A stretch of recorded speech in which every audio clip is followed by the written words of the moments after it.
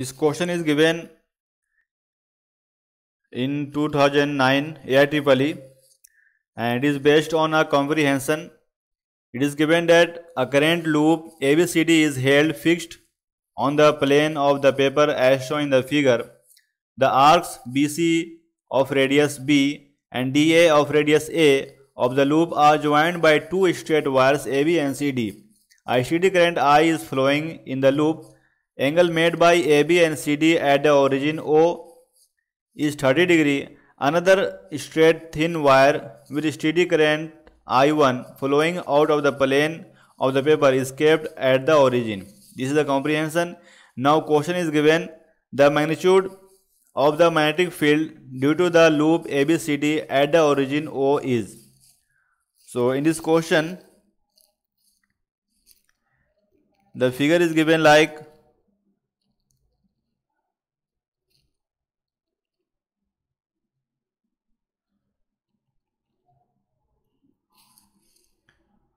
here a loop is are given.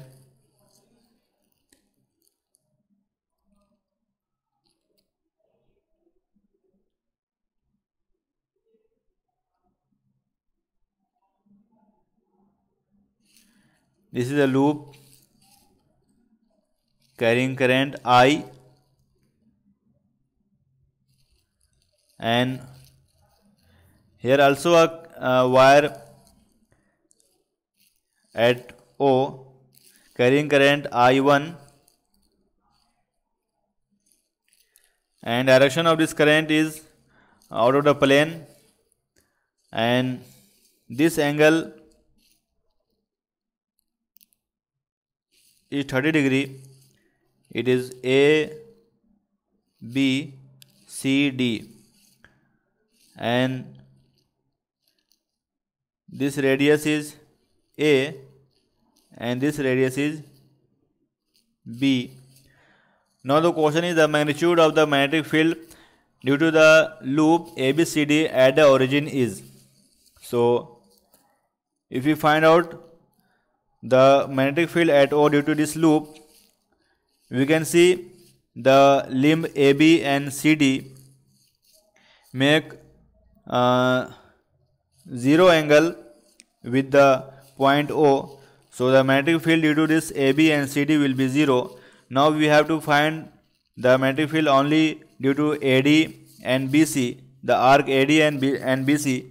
So due to this arc AD, it will be mu naught upon 4 pi I upon radius A and the angle is 30 degree that is pi by 6 and due to arc BC it will be B2 equal to mu naught upon 4 pi I upon B pi by 6.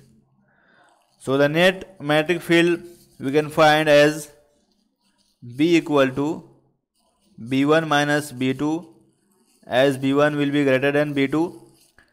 So now it becomes mu naught upon 4 pi and i and also pi by 6 will be common. So now it becomes 1 upon a minus 1 upon b.